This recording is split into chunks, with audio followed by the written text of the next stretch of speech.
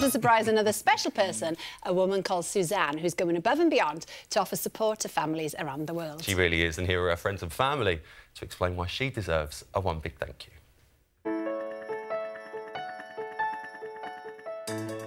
I think Suzanne's deserving of a one big thank you because she makes such a huge difference to the lives of so many. My mental health and my son's mental health is better because of what she's done.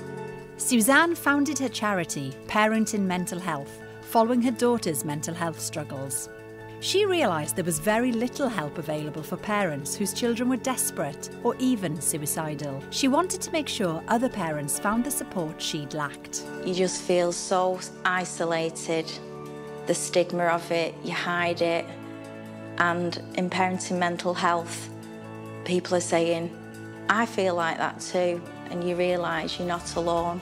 The group started in 2016, a small online community where parents could connect with others experiencing similar situations. It's a lifeline for people. It, it gives them security, it gives them hope, it gives them practical answers and support. The group now has 25,000 members all over the world, and they also offer online training courses and events. Suzanne gives up virtually all her time supporting the community and trying to drive change. She's so compassionate and she's a woman that you'd aspire to be like. Well, we thought Suzanne deserved a one big thank you. So we wanted to get her something we know that she would treasure forever.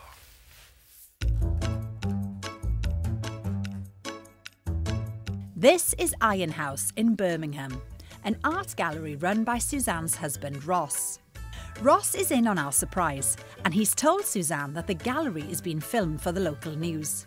She thinks it's a report about budding artists. And Ross has asked her if she'll unveil a secret painting as part of it. What she doesn't know is that this artwork is being created from notes and pictures sent in by members of a parenting mental health group from across the world. Presenting our fake piece is BBC reporter Trish Adudu. What's going to happen is I'm going to interview husband Ross and then he's going to call her over to unveil this very special artwork. Here we go. So Ross, Suzanne thinks we are here to talk about a new piece of artwork, but we're actually talking about her. How are you feeling about the amount of people that she's helped? The numbers are incredible and they double every year. How do you think she's going to react? Uh, there will be tears, I'm sure, but I think she'll be uh, very humbled that people have recognised what she's doing. So, shall we get her to unveil it? Let's do that. And with everything in place, Ross brings Suzanne over to meet Trish and unveil the picture. nice to meet you. So we have Suzanne here. We've got a piece of artwork we'd like you to unveil. Suzanne has no idea what's Go. behind the cloth, but takes her only moments to realise that this painting is really for her and that her husband has helped to make this happen. So this isn't just a piece of artwork. This is for you. And we're not from the local news. We're here from the One Show to say a one big thank you for the amazing work that you do, Suzanne. I have no words. I'm really sorry. I am, um, yeah, I'm completely blown away by that. Just thank you, everybody.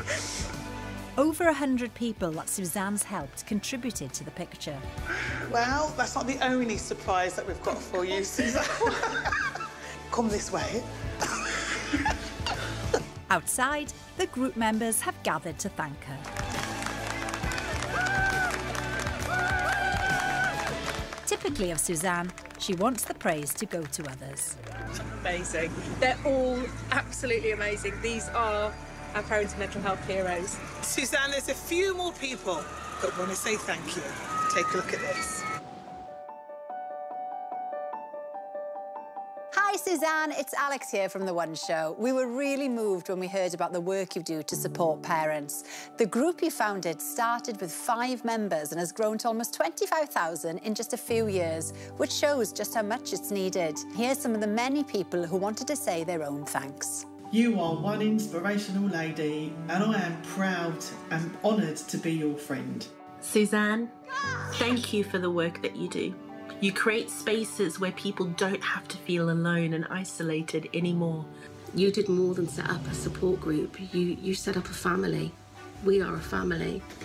I, I'm just knocked out by how powerful the work that you do is, and I'm just so proud. I'm just so proud of you.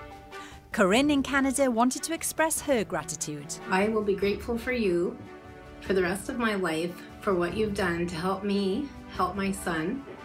And he is now blossoming. And all the way from Australia, Jessica had this message. Your ability to help each and every one of us feel supported, no matter where we live, is really amazing. And broadcaster and mental health advocate Stacey Dooley had this to say.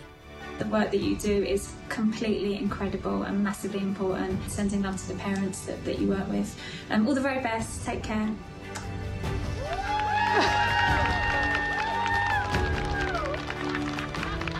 Just completely overwhelmed. I don't think I've got the words. I'm so touched.